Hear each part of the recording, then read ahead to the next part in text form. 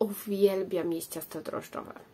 I mój Grzesiek też uwielbia jeść ciasto drożdżowe i dziewczyny też. Ale wyrabianie ciasta drożdżowego, czekanie aż to ciasto się zrobi, ojej, a zgrozo, nienawidzę tego. Zajmuje to bardzo dużo czasu. Nie mam tego czasu.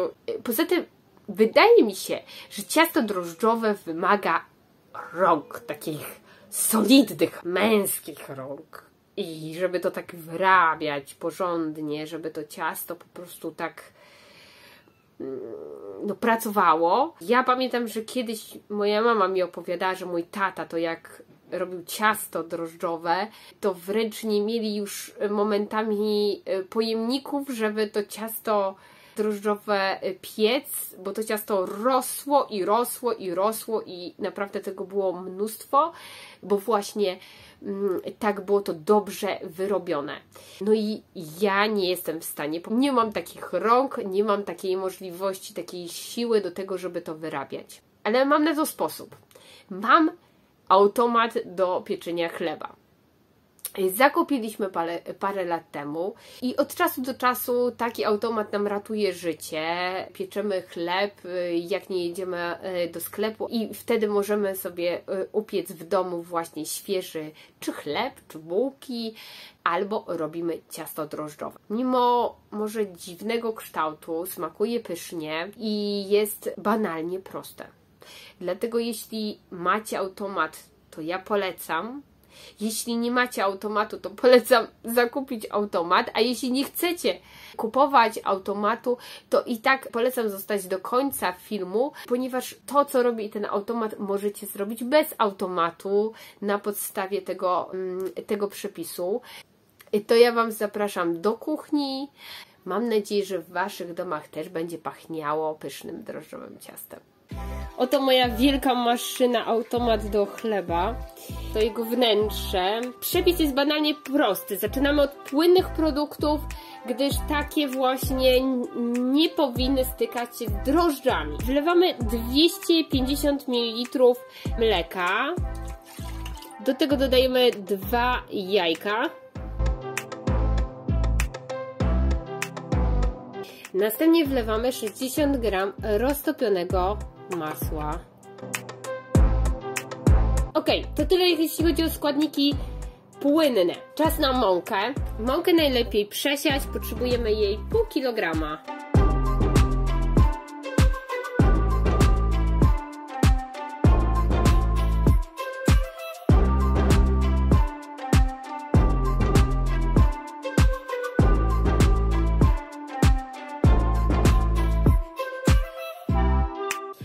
Teraz dodajemy 3 łyżki cukru.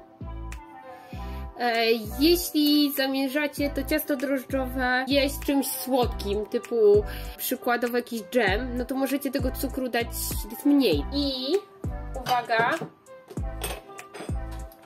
pół łyżeczki soli i ta sól, uwaga, bo ma się znaleźć tutaj w rogu maszyny. E, chodzi o to, żeby ona się najpóźniej połączyła z drożdżami.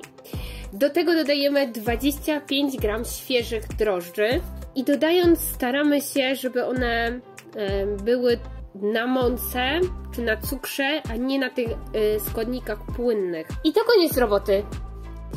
Zamykamy pokrywę. Ustawiamy na program 3-3,5 godziny. Ja mam taki tutaj 3,10. Nie wiem, ten ekran mi się jakoś tak wybrudził. Nie wiem, czy dobrze widzicie, ale to jest, tu jest 30 i największy, jakby tutaj największy bochenek mogę też ten ustawić tak naprawdę, więc albo ten, albo ten. Taki kilogramowy. Wielkość e, zrobimy, o tutaj ona się zwiększyła, jak zwiększyłam też rozmiar, więc zostawiam na to kilogram 15, to jest 3 godziny 15 minut i co? I start. Czekamy.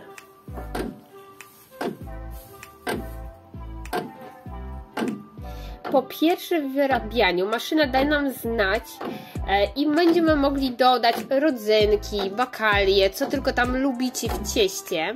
Natomiast jeśli w momencie, kiedy maszyna już skończy to wyrabianie i zacznie już podgrzewać tak, żeby e, faktycznie e, już tylko jakby już nie będzie już nie będzie mieszać później, tylko już będzie podgrzewać, to można wtedy posypać kruszonką. Żeby zrobić kruszonkę, to wystarczy połączyć masło z mąką i z cukrem, wyrobić to na, y, na kruszonkę. Jakby ktoś miał problem ze zrobieniem kruszonki, to tutaj znajdzie się link y, do filmu mojego poprzedniego na temat śliwki pod kruszonką i tam będziecie, znajdziecie właśnie przepis na kruszonkę. I widzimy się za kilka godzin. Czas się skończył, ciasto już gotowe. To co, wyjmujemy? Ale pachnie. A oto efekt końcowy. Zaraz kroję Wam, zobaczycie jak wygląda w środku.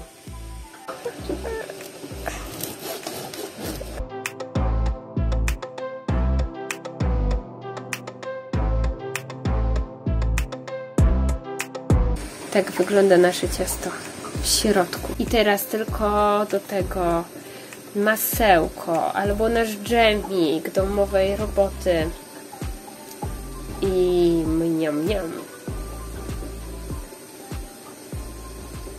Smacznego.